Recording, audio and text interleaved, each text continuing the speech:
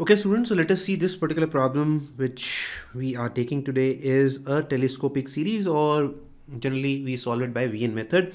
Very common pattern now nowadays, it is being started to ask at JE mains also ये क्या कहता है कि हमें इस सीरीज़ का सम निकालना है, जहाँ फैक्टोरियल भी है और आगे कुछ टर्म है। So let's just quickly go back to the last term it's a easy problem by the way you just have to remember the pattern these are pattern oriented problems earlier they used to be आज at J E advance but now they is they have moved it to JE mains also so अगर मैं are एथ term देखता तो R eighth term was R square minus R plus one r factorial. Sir what is the pattern that you are talking about here? The pattern is that we have to express ye jo term aa hai right? We need to express this as difference of two consecutive terms right? Difference of two consecutive terms so some teachers will tell you that this is a telescopic series. Some will tell you that we have to solve it by Wien method. Bo uh, you know, the intention is same behind solving this. Now, why this is a good question? Because converting this into a sum of two difference of two consecutive terms is not that easy. Uh, so what we will do r square. So okay, let, let's let's consider another school of thought is sir एकदम से देख के तो क्या लगता है sir ये R square minus two are कर देते हैं प्लस ये कर देते हैं प्लस आर कर देते हैं तो it's a good step right you will get what are minus one का whole square plus are but this does not help are case why it is not why it is futile why because you have to understand बच्चों यहाँ पर हम लोगों को plus आ गया बीच में so that makes it redundant for us we we do not want this plus here so now what we will do is will go back to the question and try to introduce a negative sign so negative sign के लिए are square था are square के साथ मैंने minus one लिखा तो minus alakkara r, and what you will be left here is with minus 2 right? If you add that you you will get the same thing equal to this and there is an r factorial outside.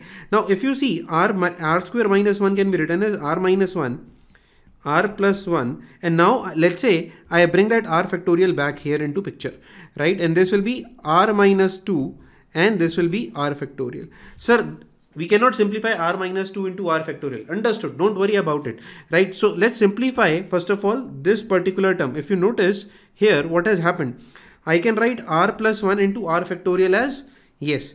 I can write this as r into r plus 1 factorial minus r minus 2 into r factorial. Did you guys notice that we guys have done our job by this expression when we say we guys have done our job. Why we say that we have done our jobs? The answer is very simple to this. So if i here if i here in the first term replace r by r minus 1 i am going to get this particular term which proves that these are two consecutive terms.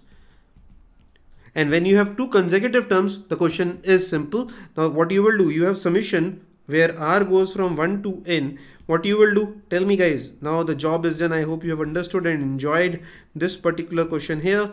The answer is very very simple. We'll put the smaller value of r in the smaller term.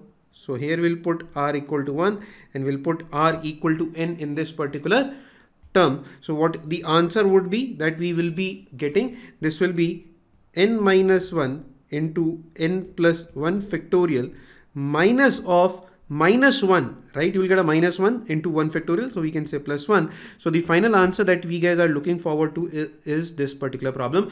Please understand that this is a pattern oriented problem not a difficult problem at all i agree to all of you but yes you have to understand how to solve factorial and summations it's a very common pattern at JEE okay so uh, we also as usual have the homework question. Please let me know that how you guys are going to solve this particular problem write in the comment section. We'll be taking this particular question, beautiful problem in the next episode.